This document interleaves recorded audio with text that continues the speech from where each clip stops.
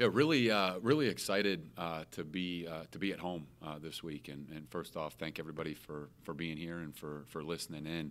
Um, but very excited to have an opportunity to begin uh, our home schedule. Uh, you know, in front of our fans is very exciting for our team. obviously, being able to play last week in front of you know such an incredible crowd was you know was truly a, a, an outstanding experience. Um, but you know, having the opportunity to be at home at the University of Akron at Infocision Stadium, um, you know, with our band, um, with our fans, you know, with our families, uh, is just is, is, such a special opportunity. And uh, you know, we anticipate a, a, really great crowd coming out, and we're excited about that. I know uh, there's a number of, of, of different events, uh, hometown heroes event, um, you know, an opportunity for, for our program and for our university to to, to, to thank uh, you know all of the heroes uh, in our community, as well as being able to welcome high school students from all all over Northeast Ohio. You know, the opportunity to come out and check out our game. So we're we're really excited about all of that, and uh, most importantly, um, the opportunity to get out there and play. Um, you know, we uh, our team is, is very anxious uh, to have the opportunity to get back out on the field. Um, I think you know there were a lot of things um, you know that we took from the game this past weekend, um, but I think you know the most important thing you know as we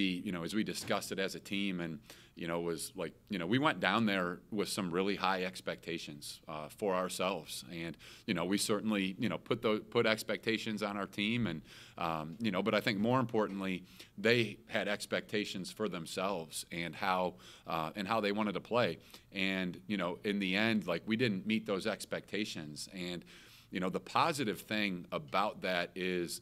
Um, you know that our guys, you know, our guys felt that you know, and uh, they didn't go down there just to play. They didn't go down there just for an experience. They went down there, um, you know, to do the best that they can do and to play as well as they can play. And um, you know, we we came back, you know, knowing that you know we can be better. Uh, we can be a lot better. And um, you know, that was that was encouraging, you know, for me to just to feel that energy and to feel, you know, really the pride uh, in our performance and um, knowing that um, you know, we got another opportunity this weekend to, you know, to be better and to do better, and um, that's exciting, you know, for uh, for us. And uh, looking forward. Had a good day of practice today, and uh, can't wait to get back out there tomorrow.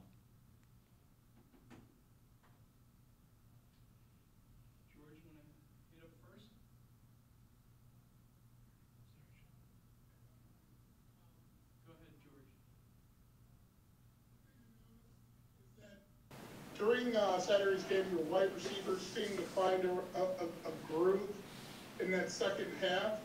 Um, it looks like, well, I knew about Mike Mathis, but uh, talk to me about DJ or George Paul and uh, how they're working together. Yeah, absolutely. Um, you know, I thought that wide receiver group, um, you know, really was a was a bright spot uh, for for our team. You know, we, we feel that that's a really, uh, really talented group. We feel like it's a group that can be very successful uh, for our team.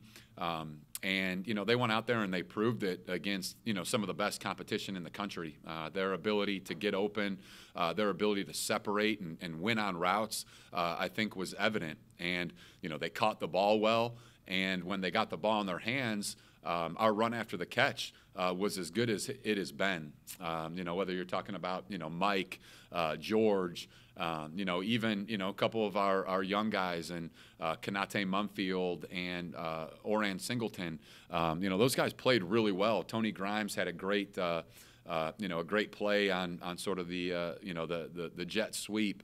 Um, did a really nice job on that. So, um, you know, I thought overall the wide receiver group did a really did a really good job getting open um, and making plays and catching the ball, and you know that that helps. You know that helps the quarterback position, and um, you know we were pleased to to see you know our quarterbacks come out and play, um, you know, and, and, throw the ball accurately and make good decisions. Uh, you know, we ended up 22 of 27 um, in that game, over 80% completion percentage, which I think is, um, you know, probably the highest, uh, you know, that we've had, um, you know, since since we've been here. Um, so to be able to do that against a, you know top level competition, a top level opponent, um, you know, was very encouraging. Correct me if I'm wrong, but at this point, is your defense built to, to take advantage of speed more than, than size? Um, you know, I think you know certainly as you look at us up front, um, you know, I do think on the defensive line. Um, you know, we have we have a variety of body types, but I think overall we're um, you know we're, we're a more athletic group. Um, you know, a, a, little bit you know quicker, a little bit more athletic um, than we've been. Um, so yes, I would say you know particularly there.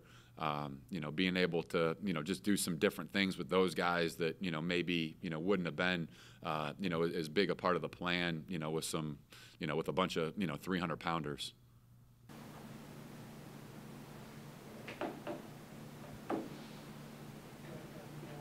Yeah, I know you were pleased with uh, special teams. Can you talk about those guys and uh, how that's going to affect the rest of the season if they continue to perform that way? No, that's a it's a big part. It's a big part of our program. Um, you know, when we talk about special teams, um, you know, we're really talking about like the foundation of our team. You know, and, and our culture, and you know, it's the one.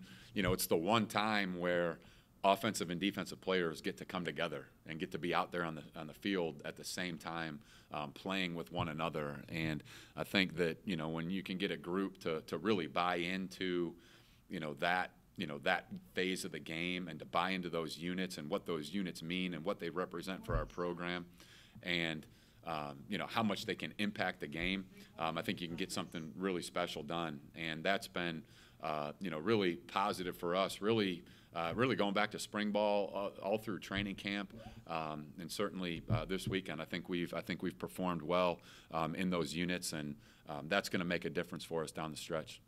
You had a couple new guys on that uh, kickoff coverage team. The young man that transferred in from Ohio State from Eds, I think, uh, had four tackles. So there's some new guys in there that are making that a better group or not. Yeah, no, absolutely. Uh, you know, Kevin Dever, uh, you know, who you're referring to, um, certainly um, has, you know, he's just he's really climbed, uh, you know, through the depth chart uh, since his arrival here. He uh, he really started in our program in August when training camp began, and um, you know, first opportunity to get out there and play. And uh, he has worked his way up and has become someone who Coach Hurd, our special teams coordinator, you know, really can count on and rely on. But he's also become a player for us on defense. Um, you know that we trust, and someone who can uh, get us lined up, get us in the right calls, execute his you know responsibility within the defense. So uh, we're really happy to have Kevin. Um, you know he's obviously got great pedigree. Um, you know, coming from you know a championship uh, program uh, in high school, championship program, uh, you know, at his previous uh, college, um, and having opportunities to play. You know, played on on some of the uh, special teams units um, for Ohio State. So, um, you know, we're really excited to have him, and he's done he's done an outstanding job. They're awfully young at quarterback, and they just lost their starter um, in the first game, Temple, I mean. Um, what are you telling your guys at that point? How, how are you approaching that? You know, it, it's interesting. You know, I, obviously we, we read the article, uh, you know, that came. I was, you know, noticed that he had gotten uh, dinged up uh, in the game and uh, didn't return. But you know, you never really know. And obviously, you know, some reports are coming out that um, you know, he may not be available, but you know, I didn't see anything definitive. Uh, certainly, you know, from from their head coach, uh, I didn't really notice anything definitive. Uh, you know, I think they're hopeful um, that they can that, that, he'll be able to play, but it's kind of a week to week situation for him, and um, I'm sure they're going to be working really hard, you know, with him down in, in their training room, trying to get him ready uh, for this weekend. But um, you know, they got uh, you know they got good backup as well, and you know, they they may, you know, we don't know enough, you know, to say how that how the offense changes, um, but. Um, you know, we, we got to be ready. You know, we got to be ready for uh, whoever comes out, and uh, you know, the quarterback position is such an important position, um, and you know how how we play on offense, how we you know play on defense. You know, a lot of it is driven by uh, you know by the quarterback. Um, you know, it, it, really you know it, it matters uh, who that guy is, and um, you know the things that he does well, the things that you know give him problems, and you know how you want to affect. Um, you know the opponent's quarterback. Um, so you know having a little bit of uncertainty there uh, for sure. So um, you know really you know kind of planning for both. Um, and you know we'll be ready for uh, you know for whoever uh, whoever rolls out.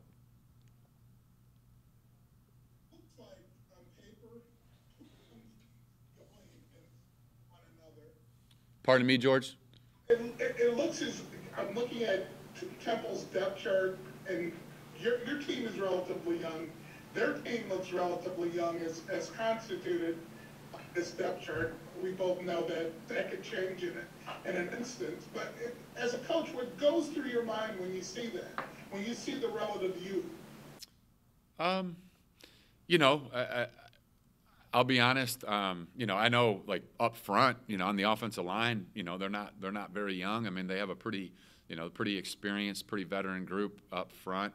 Um, I guess you know maybe I haven't. Uh, you know, I haven't noticed, uh, you know, quite as much, you know, kind of, you know, what their, you know, what, you know, what years they are and things like that. But um, what I have noticed is they're they're a talented football team. Um, they have uh, they have a lot of really uh, really good football players uh, on their team. Some guys that are really uh, capable of, of of changing the game, you know, pretty quickly. So um, I think you know that's you know really our focus is you know knowing you know knowing where those types of guys are, um, you know, and, and, and having a plan, you know, to, to handle that.